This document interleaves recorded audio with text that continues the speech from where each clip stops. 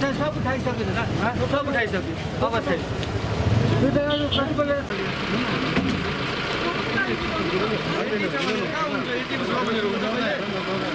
जग्गा हेरेर दोकान कतिको लेभलमा छ त्यही लेभलमा छ हेलो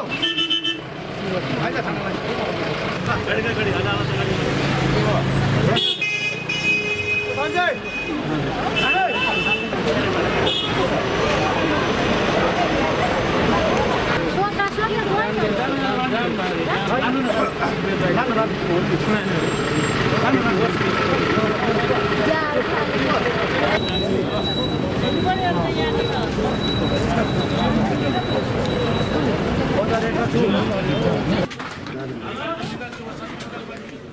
यो यो यो होइन हाल्नु हाल्नु पर्दैन अब हाल्नु पर्दैन।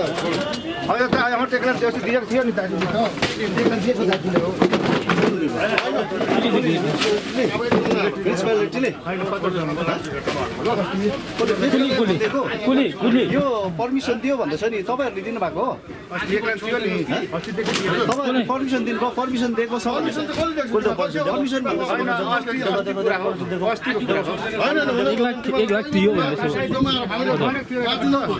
ल उनीहरूको हुन्न न। आजबाट छोड्दै हामी हाल्दैन। दिनदेखि राख्दैन आजबाट छोड्दैन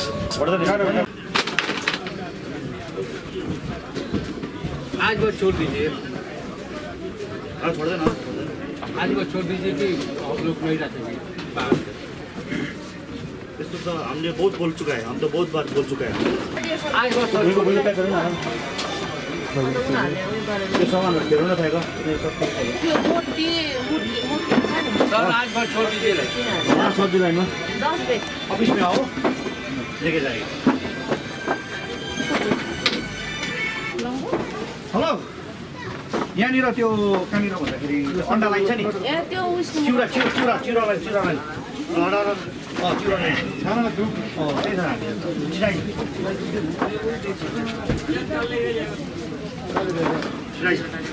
हेलो हेलो चिउरा लाइन चिउरा लाइन।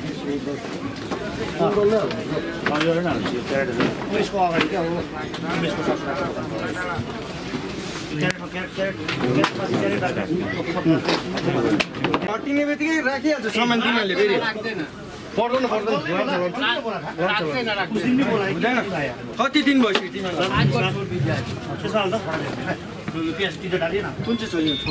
राख्दैन?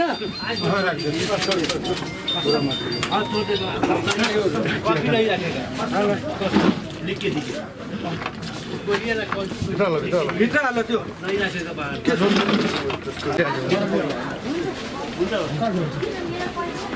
बाहर सघाइदिउ सघाइदिन्छु नमस्ते सबैजना म Ravi Mangar conservation department Darjeeling municipality अनि मेरो यहाँ भाइ यहाँ सुमन सार्की मार्केट डिपार्टमेन्ट यहाँ मेरो भाइ स्वस्तिक जमिनदारी डिपार्टमेन्ट। र हामीले एउटा कम्बाइन डिपार्टमेन्टले कम्बाइन गरेर एउटा हामीले दा दार्जिलिङ बजारलाई मतलब अलिकति साँगुडेको दा बजारलाई चाहिँ अलिकति हामीले फराकिलो पार्ने उद्देश्य लिएर चाहिँ हामीले तिन दिन भयो यो अभियान चलाएको दार्जिलिङ नगरपालिकाले। र यो अभियानमा हामी फुल्ली त सक्सेस भयो भन्नु सक्दैनौँ हामी र कोसिस गर्दैछौँ अहिले। जति सक्दो जति हामी सक्छौँ त्यति कोसिस गर्दैछौँ र आउने दिनहरूमा पनि अझै हामी अझै यसरी नै यो उस गरेर रेटहरू गरेर यो विशेष गरेर सब्जी बजार जुन चाहिँ छ सब्जी बजारलाई चाहिँ फराकिलोभन्दा फराकिलो बनाउने र मानिसहरूलाई हिँड्नु एकदमै सुविस्ता बनाउने उद्देश्य लिएर चाहिँ हामीले यो अभियान सुरु गरेको छौँ। र यो हामी यसलाई हामी कन्टिन्यू नै अब यसलाई हामी चलाएर जानेछौँ। जबसम्म हामी यो दार्जिलिङ सहरलाई यो बजारलाई अलिकति फराकिलो बनाउँदैनौँ। र त्यसपछि अझै हाम्रो स्टेप बाई स्टेप अझै हाम्रो प्रोग्रामहरू छ। हामी अझै प्रोग्रामहरू छ। तपाईँले देखिरहनु भएको छ अहिले जुन चाहिँ यो नेहरू रोडमा अहिले है त्यसमा पनि हामीले पहल गरिरहेको थियौँ। नेहरू रोडमा पहिला दार्जिलिङ नगरपालिकाले नै सबै त्यहाँका हकर्सलाई उठाएर त्यहाँका त्यो फुटबल स्टलहरू उठाएर चाहिँ यहाँ पार्कमा जग्गा दिएको हुँदा हुँदा पनि फेरि उहाँहरू आएर फेरि अहिले फेरि त्यही जग्गामा अहिले उहाँहरू अकापै गरेर थाप्नु थालेको छ। र विशेष गरेर एउटा त्यो नेहरू रोड चौरस्ता एउटा दार्जिलिङको मुटु भएको कारणले गर्दाखेरि चाहिँ के हुन्छ भने मैला कुचेला भिडभाड पिँधे थुप्रेर गइरहेको छ र यस विषयमा हामीले पहल गरि नै रहेको थियौँ। तिन चारपल्ट हामीले त्यसरी नै रेड पनि गऱ्यौँ। र आउने दिनहरूमा पनि अब हामीले फेरि त्यो दार्जिलिङको त्यो नेहरू रोडलाई चाहिँ फेरि हामी फराकिलो बनाउने उद्देश्यले अब यो सकेपछि हामी लगत्तै त्योपट्टि जानेछौँ। र मेरो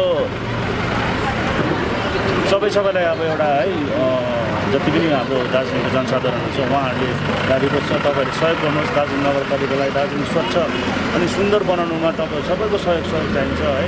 र तपाईँको यही सहयोगले चाहिँ अब हाम्रो दार्जिलिङ जुन चाहिँ दार्जिलिङलाई बचाउनु खोजिरहेको छ हामी है तपाईँहरू सबै मिलेर चाहिँ हामी सबै मिलेर चाहिँ दार्जिलिङलाई बचाउने कोसिस गरौँ भन्दै तपाईँहरू सबैलाई। तपाईँहरूलाई कुनै राजनीतिक दलबाट कुनै केही छ? अवश्य अवश्य थियो। आएको छ कि तर हामी चाहिँ त्यो राजनीति दलहरूलाई पनि त्यही भन्न चाहन्छौँ। हामीले चाहिँ त्यो कुनै नराम्रो काम गरेको होइन। एउटा दार्जिलिङलाई स्वच्छ र सफा बनाउन खालि कोसिस गरेको र यसमा चाहिँ कुनै राजनीतिक पार्टीले पनि हामीले गरेको काममा चाहिँ उनीहरूले बिचमा आएर यो यस्तो हस्तक्षेप चाहिँ हस्तक्षेपको बर्ता चाहिँ चाहिँ। सहयोग गरिदियोस् उहाँहरूलाई म दार्जिलिङको सबै राजनीतिक दलहरूलाई म त्यही भन्छु कि अब यो एउटा कुनै एउटा यो पर्सनली एउटा मेरो आफ्नो आफ्नो मेरो पर्सनको लागि होइन यो यो सम्पूर्ण अब दार्जिलिङको लागि हो सबैको लागि हो। र आज त्यहाँनिर हेर्नुहोस् चौरस्ताको त्यो बाटोमा हकर्सहरू बसिदिँदाखेरि फुड स्टलहरू लगाइदिँदाखेरि कति नराम्रो देख्छ है। र त्यो सबै हटाउनको लागि हामी लागि परेको छौँ। र त्यो लागि परेकोमा खण्डमा चाहिँ उहाँहरू जति पनि दार्जिलिङ राजनीतिक दल दलहरू छ उहाँहरूले चाहिँ उल्टा हामीलाई सहयोग दिनुपर्छ उहाँहरूले। त्यो त्यो जग्गाहरूलाई खाली गर्नु दार्जिलिङलाई सफा बनाउनु चाहिँ उहाँहरूले हामीलाई सहयोग दिनुहोस् भन्ने हामी फेरि पनि उहाँहरूलाई अपिल गर्छौँ यताबाट।